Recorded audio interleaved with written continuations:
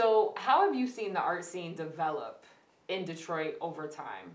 Okay, so um, I've been a part of the art scene actively um, in Detroit, consciously and unconsciously, um, for over the last 10 years. Um, before I left Detroit, I had already seen the difference in the, the wave that we were making with the arts and how it was becoming more of not only a, um, what do I want to say?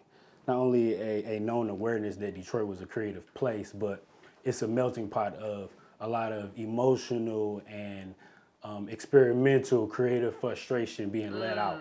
Um, and, you know, a lot of people themselves as creatives don't know how to um, package and deliver that to the industry sometimes. Yeah. And they they really don't have a voice. Um, I would have to say over the last 10 years, I've seen that voice strengthen a lot more in the art community, as well as a lot more resources being provided to some of the artists in the in the community.